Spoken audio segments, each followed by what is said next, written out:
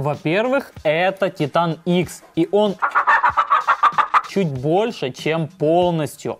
Он прилетел ко мне прямо из Москвы, чуть ли не контрабандой.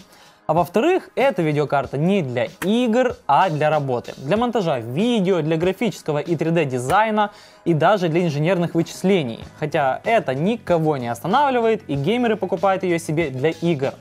Хотя даже сама Nvidia говорит, что лучшая видеокарта для игр это 980 Ti. Кого-то просто невозможно в чем-то убедить, а вот убеждать в том, что Titan X офигенен, я не буду. Я просто расскажу, что он может. А он может запустить совершенно любую игру в 4К разрешении, причем на самых-самых высоких настройках. Наконец-то можно шпилить в 4К разрешении и без проблем. Причем Titan X это чуть ли не единственная видеокарта, которая может это дать. Чтобы вы понимали, 4К это в 4 раза выше, чем просто HD, и в 2 раза выше, чем Full HD. А значит, чтобы получить то же самое количество FPS, что было в Full HD, для 4К нужно в два раза больше мощности. Четвертый Battlefield получается 50 кадров в секунду. Напомню, это в 4К и на самых-самых высоких настройках. Что интересно, когда играешь в 4К, то противника легче заметить. Например, если в Full HD противник был размером 8 пикселей, то в 4К это в два раза больше, уже 16 пикселей. Far Cry 4 тоже играется на максимальных настройках и в 4К разрешении.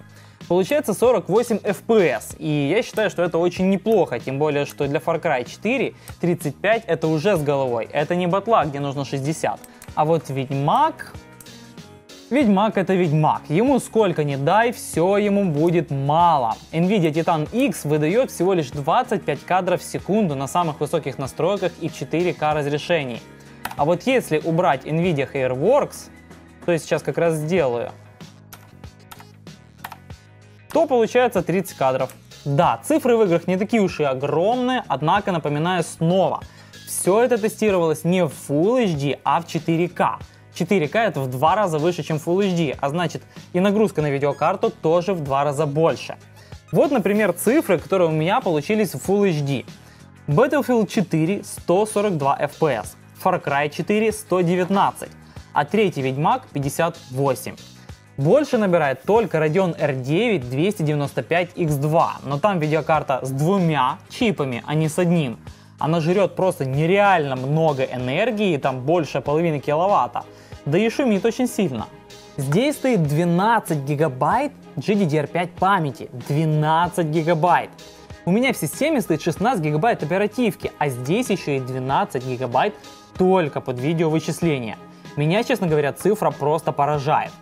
Турбина это, конечно, красиво, круто и стильно, но я, честно говоря, никогда не любил турбины. Я еще ни одной не видел, которая хорошо охлаждает. Если коротко и очень грубо, то обычное охлаждение нагнетает воздух отсюда сюда и рассеивает потом в совершенно разные стороны. В итоге тепло отводится быстрее.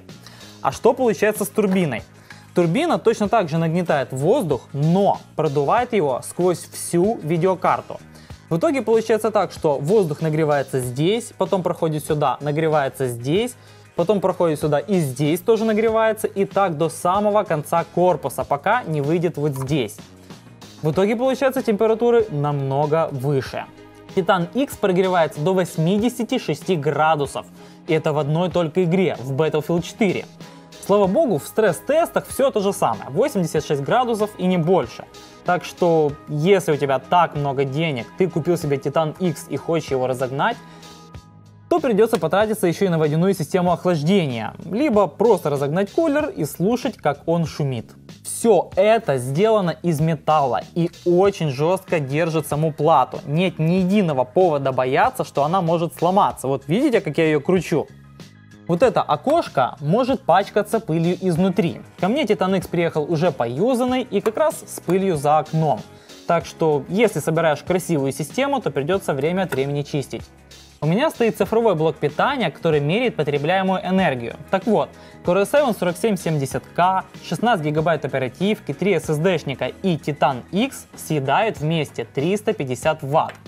Так что, если просто играть в Battlefield 4 в 4К, не разгонять или просто работать, то хватит блока питания на 500 Вт.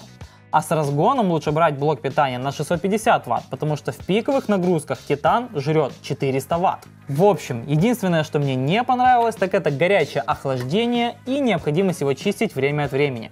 В остальном это определенно стопроцентный топ компании Nvidia, который нужно хотеть, нужно мечтать, на который нужно копить деньги, а потом все просадить в казино. А если без шуток, то мощнее ее только Radeon R9 295X2, но она жрет пипец как много энергии и очень сильно шумит. Поэтому Nvidia наше все. Кстати, интересный факт. Titan X делался не только для 4К игр или профессиональных задач, он делался и для Oculus Rift, потому что может вытянуть на нормальных FPS сразу два Full HD экрана. И еще один интересный факт. Если это видео соберет за месяц 150 тысяч просмотров, то я постригусь на лысо, мы об этом снимем видео и выложим к нам на канал.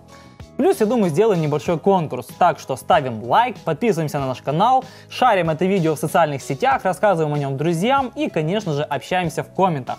Я Руди, я пошел, всем пока, а вы пока смотрите другие наши видео. Пока!